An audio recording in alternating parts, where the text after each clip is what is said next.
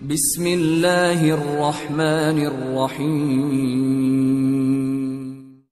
अगर इस खेल में मैंने कुछ करना है तो मुझे बता दें, शमोना ने कहा, तुम्हारे जिम्मे एक काम है, निज़ामुल मुल्क ने कहा, आज शाम उसे मेरे पास भेज दो। उसे कहना कि मैं फ़लाँ कमरे में अकेला होगा उसे यकीन दिलाना कि निज़ामुल मुल्क को कत्ल करने का ये बेहतरीन मौका है। कत्ल करने का तरीका ये बताना कि निज़ामुल मुल्क पीठ पेरे तो खंजर निज़ामुल मुल्क की पीठ में उतार देना, बाकी मैं संभाल लूँगा। नहीं, मोहतरम वज़ीर अजम शमोना ने कहा, मैं डरती हूँ, कहीं ऐसा न हो कि खेल ही खेल में खंजर आपके दिल में उतर जाए। तुम उसे भेज देना, निज़ामुल मुल्क ने कहा, मैं चौकन्ना रहूँगा, तुम जाओ। शमोना वापस आई और उसने मुजम्मिल को वैसे ही बताया जैसे निज़ामुल मुल्क ने उसे बताया था। शमोना ने मुजम्मिल से कहा कि आज मौका है, ये काम आज ही कर गुजरो। निज़ामुल मुल्क ने शमोना को वो कमरा दिखा दिया था। वो कमरा ऐसा था जिसका ताल्लुक इतने बड़े मकान के दूसरे कमरों के साथ नहीं था। निज़ामुल मुल्क सिर्फ़ उस वक़्त उस कमरे में बैठा करता था, जब उसे किसी पेचीदा मसले पर गौर करना होता था। कोई भी उसके काम में मखल नहीं हो सकता था। शाम को मुजम्मल अफंदी अपने कपड़ों के अंदर खंजर छुपाए निज़ामुल मुल्क के यहाँ चला गया। दरवाजे पर कोई दरबान नहीं था। ये भी इस खेल का एक हिस्सा था कि दरबान हटा दिए गए थे। शमोना ने मुजम्मिल को वो ख़ास कमरा अच्छी तरह समझा दिया था। मुजम्मिल इस घर में ज़ख्मी हालत में रह भी चुका था। फिर इस घर में वो सेहतियाब हुआ था। इसलिए वो इतनी बड़ी हवेली से वाकिफ़ था। वो उस कमरे के दरवाजे पर पहुँच गया और दस्तक दी। निज़ामुल मुल्क ने खुद उठकर दरवाज़ा खोला, बाहर मुजम्मिल खड़ा था।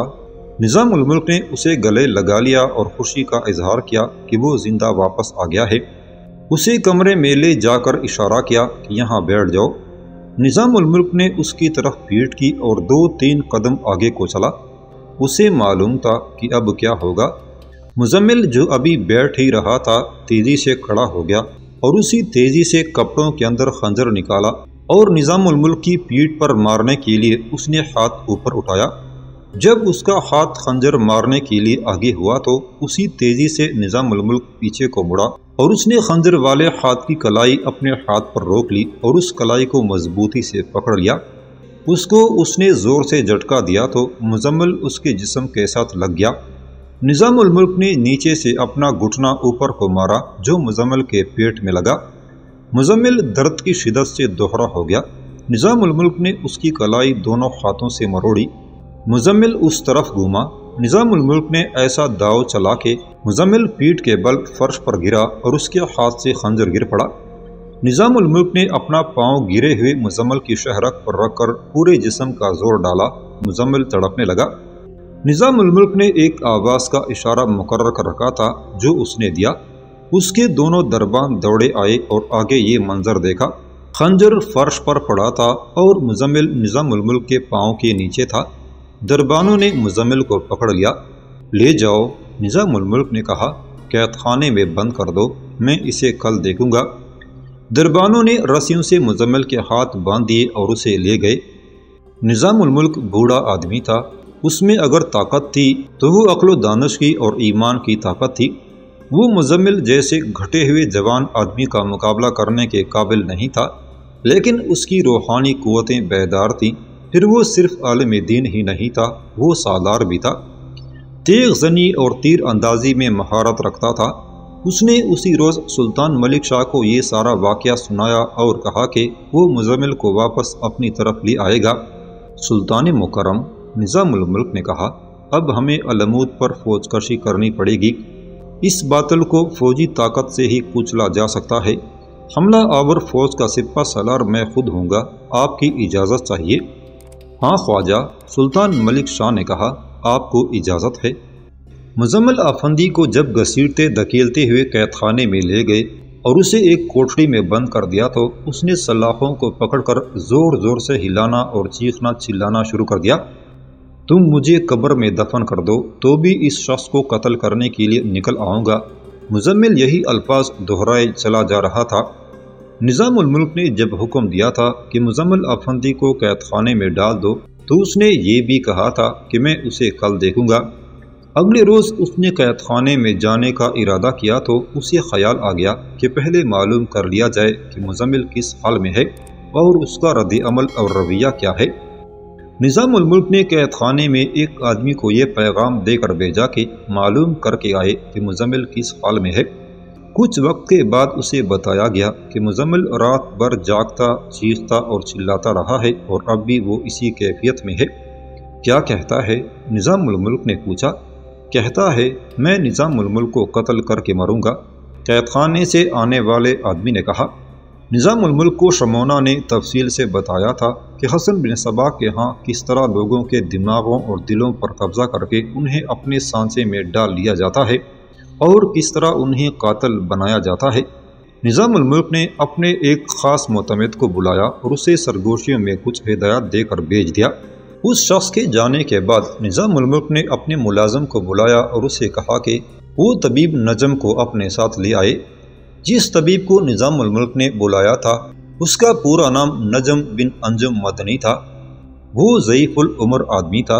मर्रू में ही नहीं और सल्तनत सलजूकिया में ही नहीं, बल्कि दूसरी बादशाहियों और दूर दूर के इलाकों में भी उसकी शोहरत थी। उसे सलजूकी सुल्तान कुछ ऐसे अच्छे लगे कि वो यहीं का होकर रह गया था। वो इस्लाम का और रसूल अकरम का शैदाई था।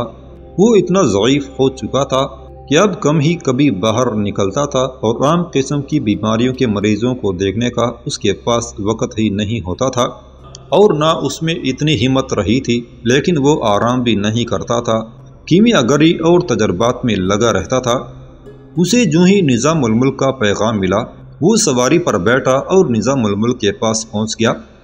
निज़ामुल्मुल्क को इतला मिली कि तबीब नजम मदनी की सवारी आई है तो वो बाहर को दौड़ पड़ा और तबीब का इस्तकबाल इस तरह किया, जिस तरह उसने सुल्तान मलिक शाह का कभी नहीं किया था।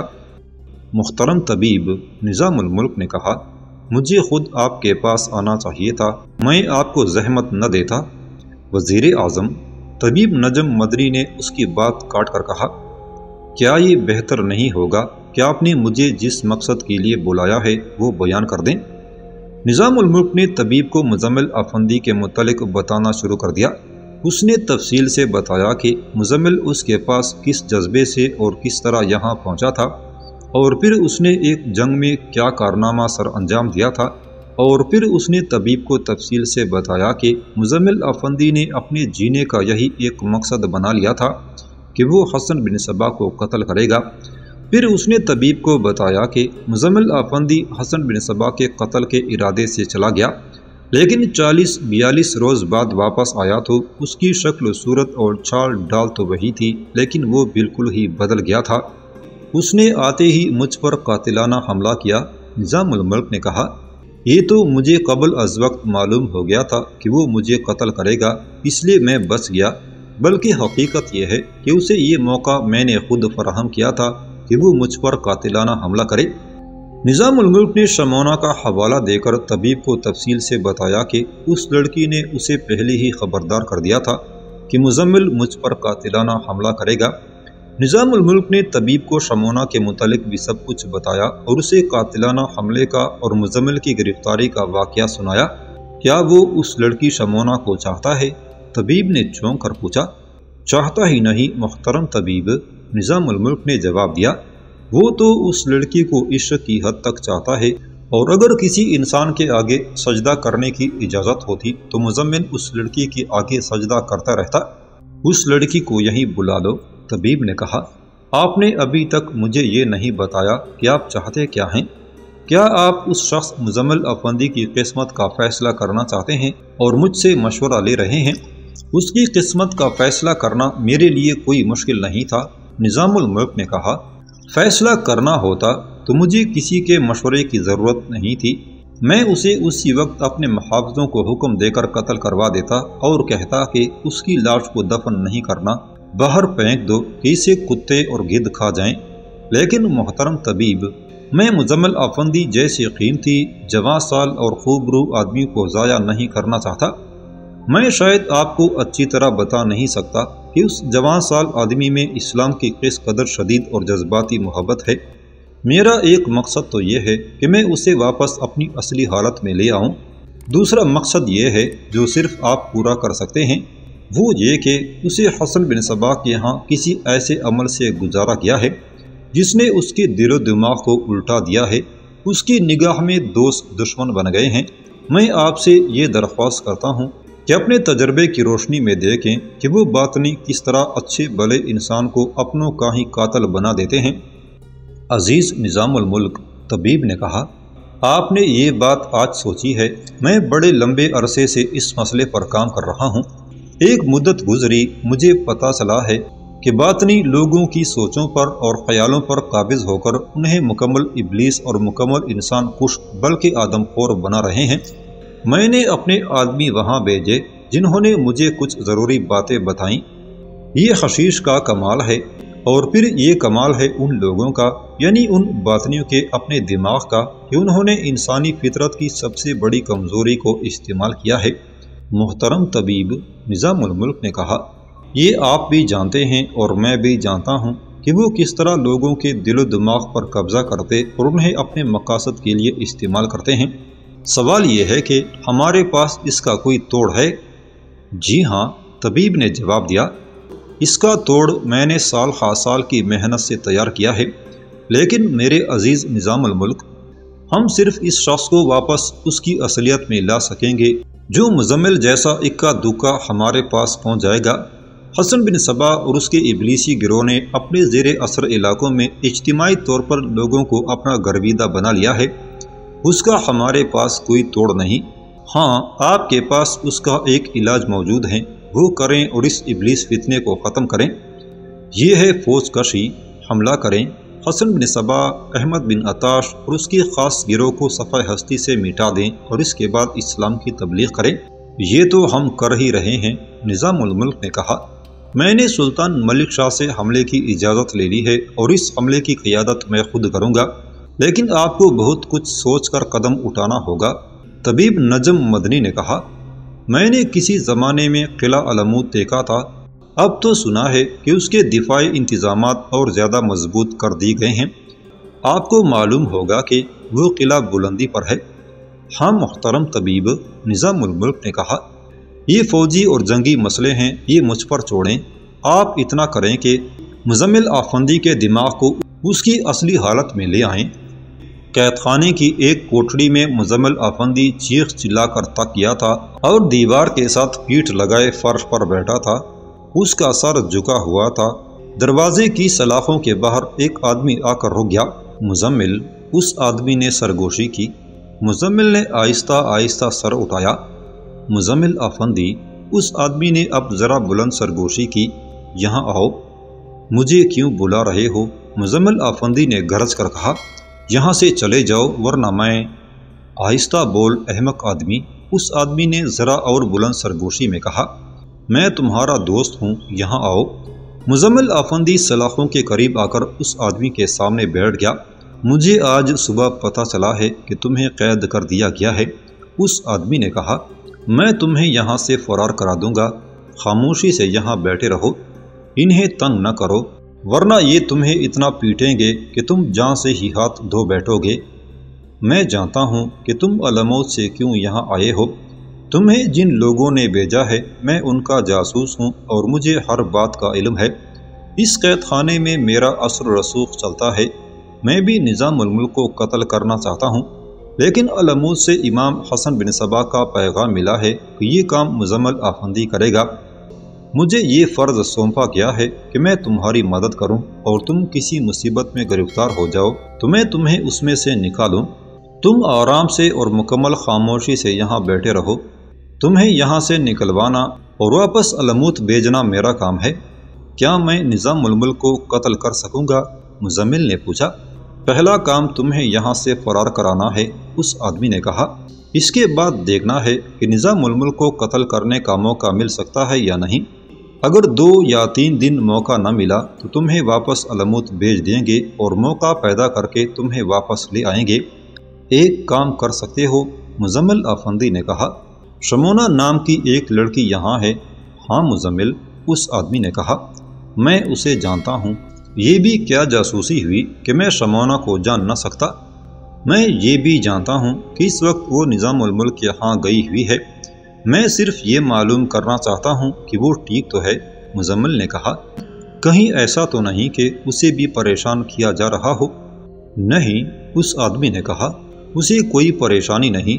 अगर तुम्हारे साथ ताल्लुकात की वजह से उसे भी मशकूक समझा गया होता तो उसे तुम्हारे साथ ही कैद खाने में फेंक दिया गया होता। तुम चाहो तो उसे भी यहाँ से निकलवा कर तुम्हारे साथ भेज देंगे। मुजम्मिल आफंदी यूँ मुतमिन हो गया जैसे दहकते हुए अंगारों पर पानी फेंक दिया गया हो अब तुम्हारे खाने पीने का इंतज़ाम मेरे हाथ में होगा। उस आदमी ने कहा मेरी कोशिश ये होगी कि मैं खुद तुम्हें खाना देने आया करूँ। अगर मैं न आ सकूँ, तो जो कोई आदमी जो कुछ भी खाने पीने के लिए लाए वो आराम और इतमान से लेकर खा लेना। यूँ ज़ाहिर करो जैसे तुम अंदर से मर गए हो और अब तुम कोई ऐसी वैसी हरकत नहीं करोगे। मुझे अब यहाँ से चले जाना चाहिए। हाँ मेरे भाई, मुजम्मिल ने कहा, मैं तुम पर भरोसा करूँगा। तुम जाओ, लेकिन मेरे फरार का इंतज़ाम जल्दी करना। मैं कोशिश ये करूँगा कि निज़ामुल को कत्ल करके वापस अलमूद जाऊँ। ऐसा ही होगा, मुजम्मिल, उस शख्स ने कहा और वो चला गया। शमोना निज़ामुल के ख़ास कमरे में बैठी तबीब नजम मदनी को सुना रही थी कि वो जब हसन बिन सबा के साथ थी तो क्या क्या तरीके इस्तेमाल करके अपने मतलब के लोगों को अपना आलायकार बनाया जाता था? शमोना ने तबीब को ये भी बताया कि उसे और उस जैसी लड़कियों को तरबियत दे के इस्तेमाल किया जाता था। मुख्तरम बुज़ुर्ग शमोना ने कहा, हसन बिन सबा के पास जादू भी है और मैं ये भी जानती हूँ, ये जादू उसने अहमद बिन अताश से सीखा है। लेकिन ये जादू कम ही इस्तेमाल किया जाता है। इसके बजाय एक और जादू इस्तेमाल किया जाता है जिससे कोई नहीं बच सकता। वो जादू मैं हूँ, मुझे देख लें। मैंने ये जादू अपने हाथों और अपनी ज़ुबान से चलाया भी है और चलता देखा भी है। तो अब मेरी बात सुनो शमोना। तबीब नजम ने कहा, अब तुम्हें यही जादू मुजम्मल अफंदी पर चलाना है। मेरा ख्याल है कि तुम्हारा जादू आसानी से चल जाएगा, क्योंकि मुझे बताया गया है कि वो तुमसे दिली नहीं, बल्कि रूहानी मोहब्बत करता है। हाँ मेरे बुज़ुर्ग शमोना ने कहा, मुजम्मिल को वापस उसी मकाम पर लाने के लिए मैं तो अपनी जान भी कुर्बान कर दूँगी। आप मुझे कहेंगे कि अपनी जान दे दो तो मुजम्मिल अपनी असली हालत में आ जाएगा तो मैं उसके लिए भी तैयार हूँ। ऐसी ज़रूरत नहीं पड़ेगी, तबीब ने कहा। मैं तुम्हें कुछ बातें और कुछ तरीके बताऊँगा। तुमने उसके मुताबिक अमल करना है। उस ज़माने में ब्रेंग वाशिंग की अतलाह से कोई वाकिफ़ नहीं था। लेकिन ब्रेन वाशिंग का अमल मौजूद था और हसन बिन सबा ब्रेन वाशिंग का गैर मामूली तौर पर माहिर था और उसने जो तरीके वज़ा किए थे, उन्हें आज के माहरीन नफ्सियात और डॉक्टर भी मुस्तंद मानते हैं।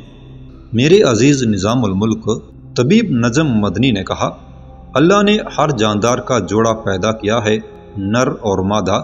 क्या आपने जानवरों को नहीं देखा कि एक मादा की खातर वो एक दूसरे का खून बहा देते हैं? इंसान को खुदा ने अकल दी है, जज्बात दिए हैं और कुछ हिस्से दिए हैं। इसलिए इंसानी नर और मादा एक दूसरे की मोहब्बत हासिल करने के लिए ऐसे ऐसे तरीके सोच लेते हैं कि इंसान खुद भी हैरान रह जाता है। मर्द की फितरत में औरत की तलब बड़ी शदीद होती है। मर्द ने जब भी धोखा खाया, औरत के हाथों खाया। इस लड़की शमोना जैसी औरत एक दिलकश नशा बनकर अपनी पसंद के आदमी पर तारी हो जाती है। अगर औरत खुद गर्ज है और वो अपनी पसंद के मर्द से कोई दुनियावी फ़ायदा उठाना चाहती है, मसलन उसके मालो अमाल पर कब्ज़ा करना चाहती है तो वो अपनी निस्वानियत के नशे के साथ कोई और नशा भी इस्तेमाल कर लेती है, जो वो धोखे से उस शख्स को देती रहती है। उसके साथ वो प्यारो मोहब्बत की ऐसी ऐसी मसनू हरकतें करती हैं कि उसके चुंगल में आया हुआ मर्द उसके कदमों में लोट पोट होता रहता है। हसन बिन सबा यही नुस्खा इस्तेमाल कर रहा है। मैं उसकी अक्ल की तारीफ़ करता हूँ कि हशीश को जिस तरह उसने इस्तेमाल किया है, वो आज तक और किसी के दिमाग में नहीं आया। मैं मुजम्मिल आफंदी के दिमाग पर जो हशीश के असरात हैं, वो उतार दूँगा। क्या आप उसे कोई दवा पिलाएँगे? या कोई और तरीका अख्तियार करना है? निज़ामुल्क ने पूछा हाँ तबीब नजम ने जवाब दिया, उसे दवा पिलाई जाएगी, लेकिन आपने बताया है कि वो कैद खाने की कोठरी में बहुत ज़्यादा उदम बर्पा कर रहा है। आप उसे दवाई किस तरह पिलाएँगे? ये काम आपको करना होगा? हाँ मोहतरम तबीब निज़ामुल्क ने कहा, मैंने एक इंतज़ाम तो किया है कि उस शख्स पर काबू पाया जा सके। ज़रा ठहरिए मैं मालूम करता हूँ कि वो आदमी वापस आया है या नहीं।